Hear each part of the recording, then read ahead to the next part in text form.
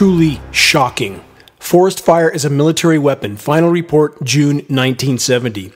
Yet more insanity from the military industrial complex. This formerly classified U.S. military report provides in depth detail on the methods the military uses to prepare vast swaths of forests for extremely intense wildfire incinerations. The United States Forest Service provided much of the data for the U.S. military. Question Is that really the job description for the Forest Service to instruct the U.S. military on how to, quote, set the stage for maximum intensity wildfire incinerations by months long atmospheric spraying of desiccants and defoliants? Are U.S. citizens and populations around the world now in the same category as the Viet Cong were during the U.S. invasion of Vietnam? Geoengineeringwatch.org has desperately tried to sound the alarm on this exact scenario for a decade and a half. Even more disturbing about this report is the fact that it includes specific data that outlines the best engineered wildfire incineration timing for various regions in the U.S. and other nations that are thought to be U.S. allies. One of the regions in the U.S. that is specifically covered in this report is Mount Shasta, California, my backyard. Top fire agency officials have repeatedly acknowledged the now unprecedented behavior of wildfires. Every year is worse than the last. Why? All official sources refuse to or are unable to offer any valid explanation for the increasingly catastrophic fires and fire behavior. Why not? Every single person that I've talked to so far has made the mention that I don't know why it's doing what it's doing. It's burning differently. It's burning uh, more aggressive um, than than it has in years past. And I know we say that every year, but it, it's it's unprecedented. It's burning in every direction all at the same time. Other cities and regions that are rated for their incineration potential in this report include Washington, D.C., Florida, New Mexico, New York, South Carolina, Texas, Utah, Minnesota, and in the formerly golden state of California, Los Angeles, Mount Wilson, Blue Canyon, and, as mentioned a moment ago, in my neck of the woods, Mount Shasta, California.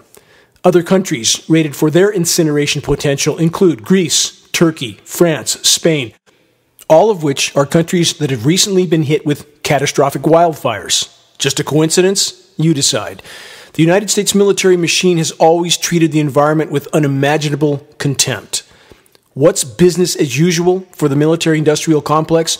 Blowing up pristine tropical islands to test nuclear bombs, detonating nuclear bombs in the atmosphere, on civilian cities, using radioactive depleted uranium munitions all over the Middle East, in the Balkans, toxic water supplies on military bases for our own troops to consume, highly toxic burn pits next to military bases, which contaminated countless military personnel and civilian populations. The list goes on and on and on. For the record, the U.S. military is the largest single source polluter on the planet. Not an opinion, a statistical fact. Would the U.S. military use weather as a weapon? Short answer yes. But would the U.S. military participate in the toxic spraying of forest lands in our own country in order to set the stage for extreme wildfire incinerations. Why would they, many ask? Let's start with this. The U.S. military has for decades stated on the record that the rapidly heating climate poses the greatest U.S. national security threat of all. Now consider this puzzle piece. Are U.S. military climate intervention operations being used to facilitate catastrophic forest incinerations in the insane attempt to provide temporary and highly toxic surface cooling by attempting to mimic the temporary cooling effect of large volcanic eruptions, which the latest science data confirms can only destroy what's left of the climate system. The excess atmospheric particles actually trap more overall heat than they deflect, along with completely derailing the hydrological cycle and destroying the ozone layer, all of which rapidly worsens the overall heating of our dying planet. In fact, this exact scenario is the primary stated goal of so called solar radiation management operations, blocking out the sun with jet aircraft sprayed atmospheric particles to provide temporary, again, though highly toxic, surface cooldowns on planet Earth at the cost of an even worse overall warming. The military industrial complex has long since considered utilizing nuclear bombs to fill the atmosphere with particles that provide temporary and toxic cooling. Any that believe the same controllers wouldn't utilize extreme forest fires to accomplish the same objective need to think again. From the perspective of the climate engineers, filling the atmosphere with wildfire smoke does, in fact, accomplish the same objective.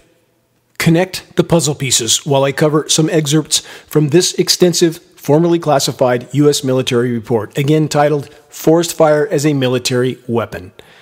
In 1965, the Joint Chiefs of Staff requested that the Secretary of Defense initiate research to determine the feasibility of measuring the flammability characteristics of forests and jungle growth, modifying flammability so that vegetation would readily support combustion, and developing measures to destroy large areas of forest by fire. Forest flammability can be greatly increased by killing all shrub vegetation, selecting optimal weather conditions for burning and igniting fires in pre selected patterns. Page 3. The program was concerned with basic flammability problems of the major vegetation types of the world, i.e., they wanted to know how to incinerate any forest anywhere at any time. Page 6. The effect of heat kill on opening up the forest canopy for aerial observation is practically identical to that achieved by spraying the forest with defoliant chemicals. The leaves fall off given time, but the twigs and limbs remain. Page 8. Under exceptional circumstances, forest fires may develop into the phenomenon known as a firestorm. This combination results in the development of strong surface winds which act to fan the fire and increase its burning rate. The increased burn rate causes more rapid air entrainment with a consequent further increase in wind speed, which increases burning rate still faster, which increases, etc., etc., until all available fuel has been burned.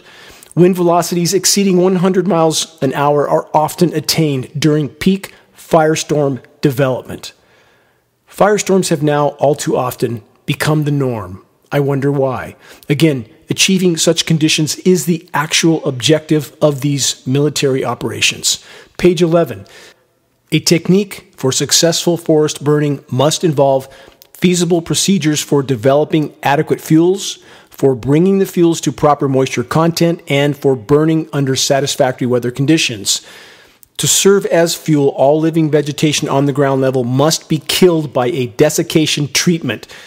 The moisture content of this material must be reduced to a low level, i.e., to a point where the heat produced by combustion and transferred to new fuels will exceed the heat absorbed by water remaining in the fuel. Question Is it just an amazing coincidence that forest fuel moistures are now commonly at record low levels in countless regions all over the world that are incinerating from wildfires of record intensity? Page 13. Since all forest fires must be started as ground fires, 25% moisture in ground litter is an absolute upper limit for incendiary operations of military value. Page 20. In most situations, burning of shrub types is not successful unless the amount of dead material has been increased by killing and desiccating the plants. Again, for the record, climate engineering elements are desiccants, starting with aluminum, which also kills soils, root systems, and thus forests. Page 22. When the litter and underbrush have dried sufficiently to burn well, which usually takes at least six to eight weeks of drought, all conifers will crown easily and burn extremely hot. Because of their heavier fuel weights, firestorms are more common in conifers other than pine than any other fuel type. Page 26. The achievement of a crown fire or a firestorm in any hardwood forest requires external measures which will lower the moisture content of the crown foliage and branches and or increase the amount of dead surface fuels that can transfer heat into the tree crowns. Translation Much preparation and planning is needed to produce extremely hot crown fires, aka firestorms. Total insanity. The weather makers control the spigot, drought, or deluge at their discretion. Page 40. Vertical distribution. Given an adequate amount of available fuel, the vertical distribution of particles has the greatest influence on fire spread through a fuel bed. Page 49. Whenever possible, incendiary operations should be limited to days when cloud cover is 3 eighths or less. Page 50. The planner should look for stable periods of clear, dry weather, and these are usually associated with high pressures and light surface winds. Think ionosphere heater induced high pressure heat domes. Think HAARP in Alaska and other facilities like it all over the world. Page 52 Desiccation techniques. The desiccation process, converting live green vegetation into dead, dry fuel, benefits burning in several ways. The desiccation process is especially slow if the stems remain attached to a living root system, the entire process requiring 6 to 12 months. This report statement makes clear forests are put through a quote process that may take a year or more before the engineered incineration is commenced. Page 54, stem treatment. This method involves killing larger trees for burning by injecting herbicide into the stem or by girdling the stem. Additional treatment of understory vegetation is needed to prepare a forest for burning. The purpose of stem treatment is to kill both the tree trunk and crown and allow adequate time for drying ahead of burning. This method will add fuel on the ground eventually after tree chops have broken off or entire trees have fallen. This requires one or two years in drier climates. For a decade and a half, geoengineeringwatch.org has warned that the climate engineering atmospheric spraying was setting the stage for unprecedented wildfires.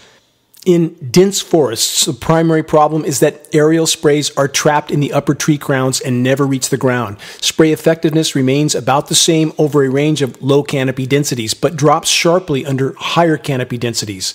Page 56. Desiccants suitable for aerial application are of two kinds. Systemic herbicides, which enter the plant, move through the vascular system, and kill tissue away from the point of contact. Two, contact herbicides, which kill only the living tissue that is directly contacted. Leaves remain attached for months on evergreen vegetation under climates with long dry seasons. Sound familiar? After specific fall rains, geoengineeringwatch.org has monitored dead, dry leaves hanging on deciduous trees, often for months. This is not nature. It is exactly what this Forest Fires as a Weapon report outlines. Page 65. In addition to treating live vegetation with desiccant chemicals and timing incendiary operations to take every possible advantage of the weather, forest fires can be made to spread more rapidly and burn more intensely by igniting many small fires in a predetermined pattern. Page 67. How can we achieve the maximum burning rate over any given area? Or, to put it another way, how can we get the maximum amount of fuel burning at one time? Page 71. Incendiary devices. The proper spacing of incendiary sets is much more critical to the success of forest burning operations than is the type of device used to produce ignition. Ignition of forest litter is most readily accomplished by small, cluster type incendiary weapons designed for direct flame contact with the fuel. Page 73. Chemical defoliation of overstory trees and shrubs is the only logistically feasible method of augmenting the surface fuel supply. Defoliation missions should be flown at least four months in advance of the incendiary missions. Weather is crucial for success in forest burning. Incendiary operations must be preceded by at least a week of dry weather, and cloud cover should be 3 eighths or less with relative humidity below 50% in the target area at the time of ignition. Maximum fire intensity is achieved by spacing ignitions so that adjacent fires begin to interact with each other at the exact time that each fire has reached its maximum normal intensity. Proper use of this area of ignition technique can greatly increase the effectiveness of forest fire as a military weapon. All of this has been and is occurring, not just in some far off land, which is horrifying enough, but also in our own country. The U.S. military document covered in this report, which includes references to numerous potential target regions within the U.S., is beyond shocking and alarming. For over a decade and a half, geoengineeringwatch.org has monitored and reported on the constant climate engineering assault on our forests, on us, and everything else in the web of life. An assault that has been ongoing for over 75 years, but which continues to be officially denied, not just by official sources, but by a so far willfully blind public, in spite of the fact that climate engineering operations are shockingly visible in our skies, with the consequences of the climate intervention operations already being far past catastrophic. Climate engineering is weather warfare. What we collectively face is a fight for life, nothing less. We can debate on the agendas and objectives of the global controllers, but the fact that climate engineering operations are being used to completely disrupt historical climate and weather patterns, causing unprecedented drought and wildfires in many regions, while others are drowned in biblical scale deluge, is beyond dispute. Satellite images conclusively confirm the almost inconceivably massive geoengineering operations being conducted all over the world.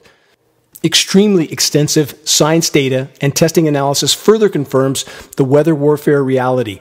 Climate engineering desiccant particles, which are also incendiary materials, are absolutely present in our air column in staggeringly toxic amounts. Nanoparticle elements of aluminum, barium, strontium, manganese, polymers, and even graphene. Further consequences of climate intervention operations include the total decimation of the ozone layer, which is by itself an extremely near term existential threat. What will it take for the truth to be acknowledged by the so called science community, official sources, and the public? Will the moment of recognition be when we hit the wall of total planetary life support system collapse? Those in power are not gods, and we are not helpless. All of us are needed in this desperate battle to defend what is yet left of the planet's life support systems on which all of our lives and our children's completely depend. The first and most critical leap in the right direction that we can make is to achieve a critical mass of awareness in the population. Not just an awareness of bad things happening or that governments and militaries are criminally corrupt, but an awareness of the fact that what we face is a right here, right now fight for life. A malignant cancer of the criminally insane is completely in control. They must be exposed and brought to justice legally and morally, or very soon there will be nothing left to salvage. Sharing credible data from a credible source is key. Geoengineeringwatch.org will continue to strive to be such a source. Check the activist suggestions link on the homepage of geoengineeringwatch.org to get specific details on how you can help to move this fight forward. Sharing the link for the groundbreaking climate engineering documentary titled The Dimming is essential. We, all of us, each of us, must make every day count in this most critical effort to turn the tide. Please make your voice heard while it can still make a difference. This is Dane Wigington with geoengineeringwatch.org.